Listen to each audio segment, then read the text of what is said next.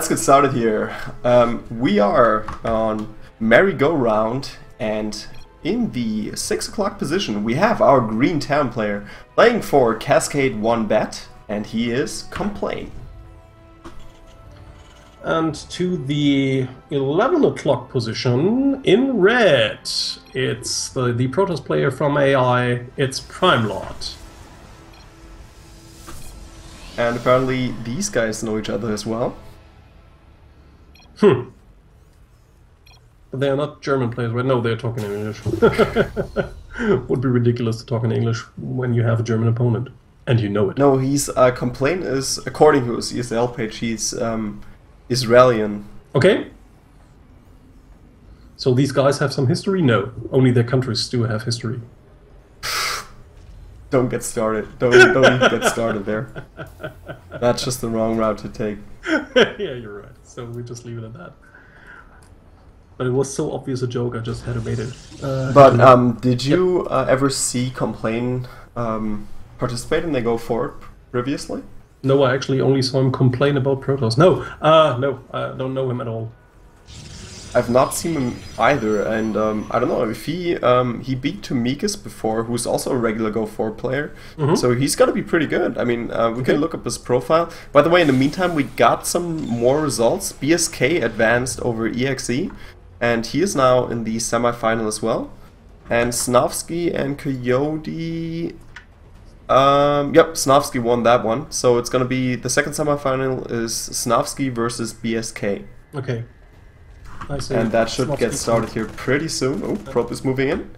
And he didn't see anything, didn't even see the gas. He might have seen uh, a couple workers making their way um, to the gas. I'm not too sure. Well, actually, the first uh, the first Marine is already telling you a lot. So, but still, of course, it would have been nice to see the gas and when it's been started and how many gas has already been taken. But seeing um, seeing a Marine first already tells him quite a, quite some things, and uh, he's going to see the Reacher, uh, the, the Reaper. Oh my God! Now it's starting. It's getting Reaper. too late. yeah, he's going to see the Reaper in just a minute at the latest when it arrives at his base, and uh, but he will be able to fend it off no problem. So yeah, Yeah, first Reaper is incoming. PrimeLoT has the Nexus on the way. And his Mothership Core is almost done as well. And the Stalker, of course, in position. So with the Stalker, he's just going to be fine uh, dealing with this Reaper. Reaper might make its way on Yeah, top. just- Yes. Oh, barely misses it. his way by. Yeah. Yeah, I think he just went up uh, as soon as the Stalker um, was going down the ramp. But Still killing losing that Reaper early on, actually not that uh, uh, not that good for Complain. Because that Reaper might have been useful later on for just uh, scouting out what PrimeLoT is doing. Yeah, that's right. You totally want to keep that Reaper for later on. You And he did um, he did put some of his workers out of the gas, and he now put them back in. So um, pretty uh, pretty economical opening for Complain. Mhm. That's actually pretty pretty normal for most Terrans. I mean, he just took the fast expand and then went into uh, uh, went into marine production using a reactor, and now he's adding the other Rexes, so he can go into bioplay, which is the usual standard against Protoss. Yeah, I was going to. Uh, I was going to ask: uh, Have there been any changes since uh, I previously casted StarCraft? Well, I don't know what you so see later. far, it Uh, doesn't look all that much different. Well, uh, I mean, I mean, the mines have gotten a, a serious buff lately by uh, getting extra shield damage, which only affects Protoss units. And So, since do we see mines in uh, P- uh, TVP now? Well, the, the, the actual problem is that only the threat of mind play just forces most Protoss to go into Robotech. And since most Terrans just know that fact, that Protoss are mostly opening um, Robo that day, they are just starting to produce their normal um, Marine Marauder Medivac plus Viking composition anyways. So maybe Protoss players could open Templar Tech again, but they just don't dare to because it's so damn risky. Because once you start to go into Templar Tech and then just he comes in with a Medivac and two mines, they just burrow inside your mineral line, you have no detection, and there your game goes.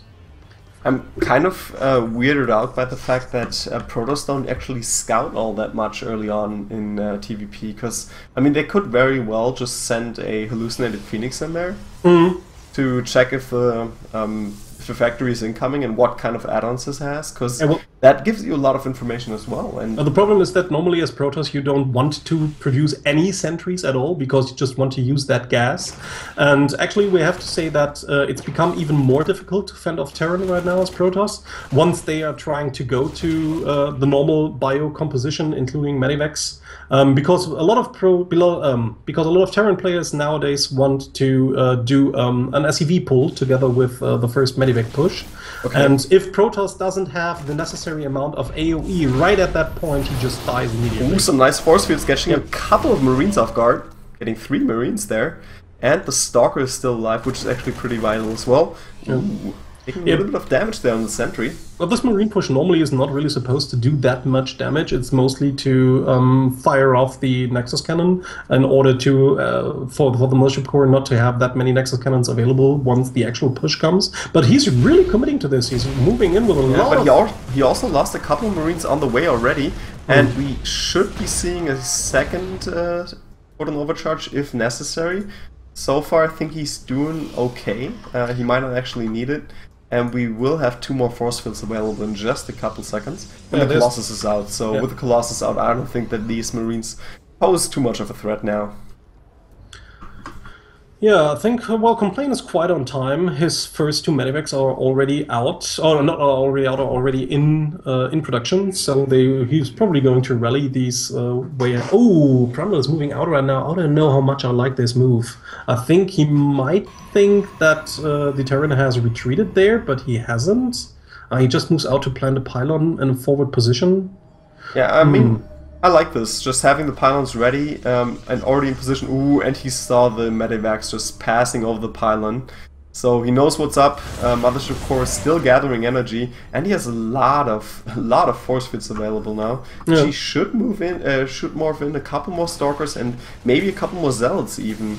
The problem is that he is now going to take all to take in all these um, all these marines and the medevacs and just drop them into the base. And um, the is quite he must not have noticed then, because uh, he's moving completely out of position, Yeah. uh, not seeing any of these medevacs uh, drop into the main base, and he doesn't have a mothership core with the army, so there's not going to be a recall, and I think this drop by Complain is going to do a whole lot of damage. Yeah, now he's really at that point where he has to make a critical decision whether he wants to return right now or just go for it. Oh, and the try to- Colossus! Oh, the Robo gets picked up before the Colossus moves out, and he even gets the gateway on top of it.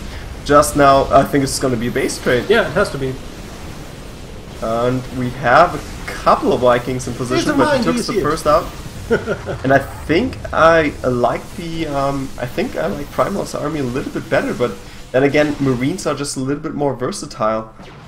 But if he keeps these Colossi alive and keeps the sentries alive, this is definitely the better army to face off against Complain.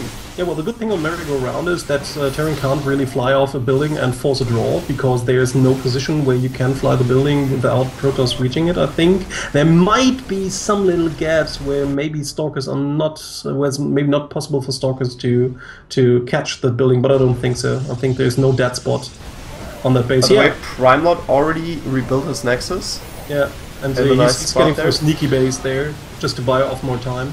Ooh, but he's not dying. doing. Oh, jeez, he lost his Colossi and lost a lot of units on the ground as well. Uh, this is not going to be PrimeLoT's game, I feel. Uh, 81 supply versus 52, and losing the Colossi, which was just a grave mistake by him. Yeah. With the Colossi, I think he might have still won that game, and now the Vikings even land. I think he's just going to clear this up, and nope, a couple more, um, a couple more zealots moving in. But this still might be enough for Complain.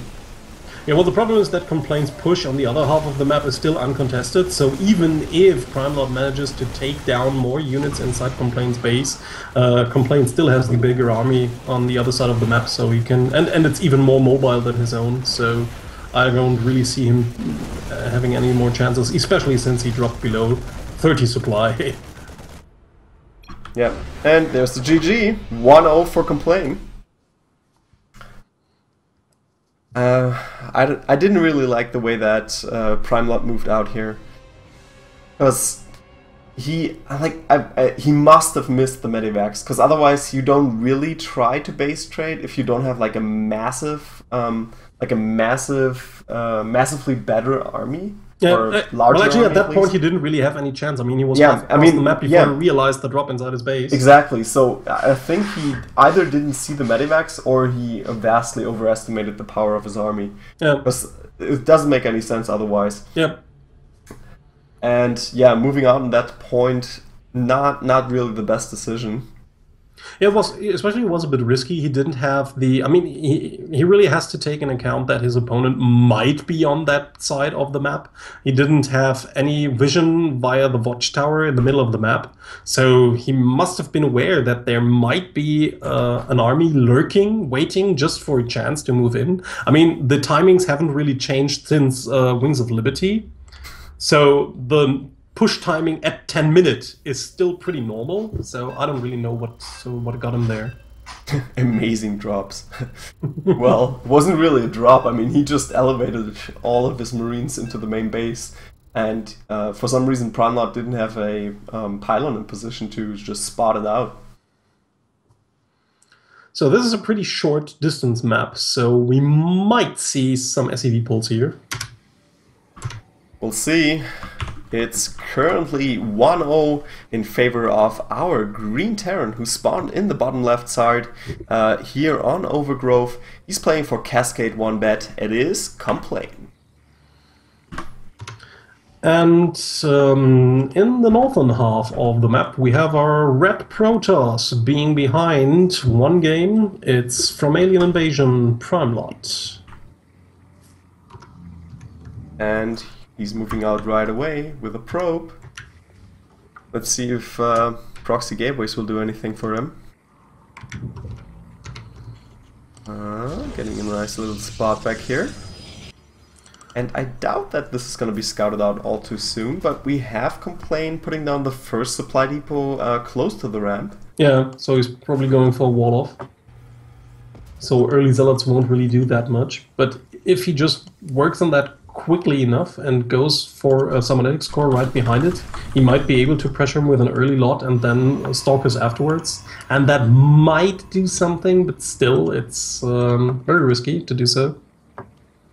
Well, I think, but that doesn't make all, to, all that much sense. But maybe he was not too convinced of his skill in the last game. But that was just, I don't know, gotten a little bit unlucky by then not spot, uh, spotting the, uh, not spotting the medivacs.